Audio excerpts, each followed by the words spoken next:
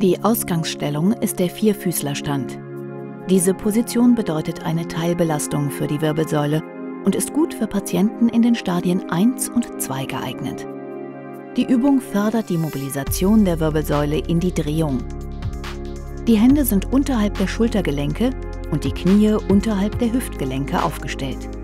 Das linke Bein wird dabei im 90-Grad-Winkel seitlich abgespreizt aufgestellt. Die Fußspitze wird hochgezogen. Die rechte Hand unter dem Körper hindurch zum linken Fuß ziehen. Dabei das Knie so gestreckt wie möglich halten. Dann den Arm schräg nach rechts oben strecken. Die Augen verfolgen die Hand. Dabei wird der Kopf mitgedreht. Den Bewegungsablauf dreimal wiederholen. Nach der Übung Arm und Knie wieder aufstellen und die Seite wechseln.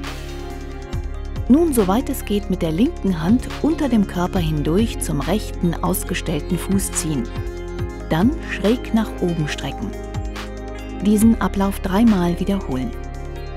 Die Übung bewirkt außerdem eine Dehnung der Schultergürtelmuskulatur.